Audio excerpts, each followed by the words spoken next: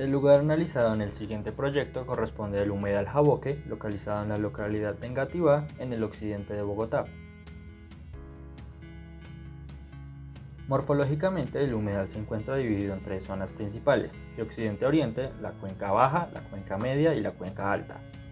Igualmente, dentro del régimen de usos establecidos para el humedal, este se encuentra dividido en tres zonas principales, el cuerpo de agua, la ronda hidráulica y la zona de manejo y protección ambiental. Dentro del área de influencia del humedal, los usos urbanos principales se encuentran constituidos por la vivienda unifamiliar y multifamiliar, con comercio local sobre los ejes sectoriales y industria sobre las ejes viales de la calle 63 y la calle 80. En cuanto al sistema vial, los principales ejes de movilidad se encuentran sobre la calle 63, la calle 72 y la calle 80,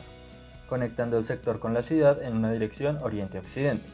Las conexiones de norte a sur se generan a través de vías sectoriales y locales. Algunas vías sectoriales son la carrera 106A, la carrera 110, la carrera 111C y la calle 64F. En cuanto al sistema de transporte, el área estudiada se encuentra en el área de influencia de las troncales de la calle 80 y de la calle 26 del sistema Transmilenio, encontrándose disponibles rutas alimentadoras que tienen como destino tanto el portal de la 80 como el portal del Dorado, así como existen en el sector diversas rutas del sistema integrado de transporte público. En cuanto al sistema de espacios públicos, dentro del sector se encuentra constituido una serie de parques zonales, siendo igualmente muy importante el sistema de espacios públicos se encontraba en el borde del humedal, que se constituye a partir de plazas, plazoletas, canchas deportivas, parques infantiles y zonas verdes.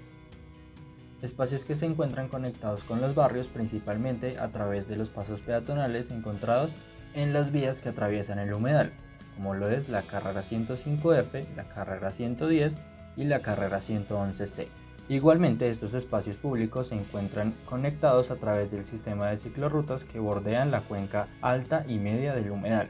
así como un sistema de senderos peatonales que conectan plazas, plazoletas y andenes.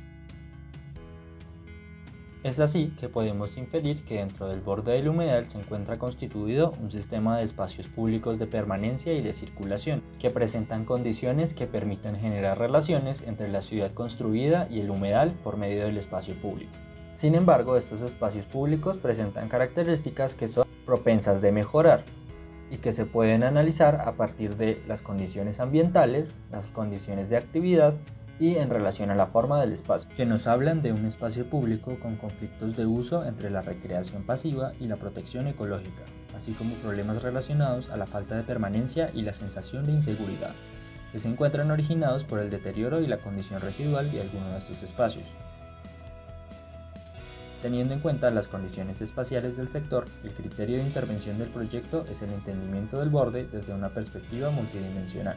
Se lo reconozca como un espacio complejo que no solo puede ser leído desde lo físico, sino también desde los imaginarios, la forma en cómo se define y la forma en cómo se habita.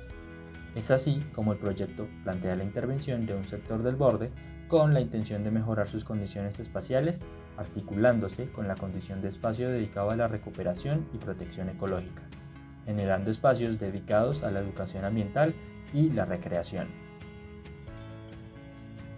Para esto, la estrategia principal del proyecto se establece como la generación de un sistema de capas del territorio que establezca relaciones entre la ciudad construida y el humedal, mientras se establecen diferencias en términos formales y en relación con el régimen de usos.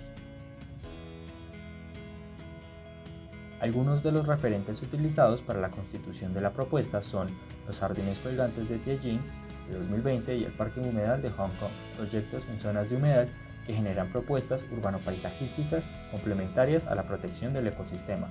mediante senderos, miradores, jardines y espacios abiertos a la pedagogía.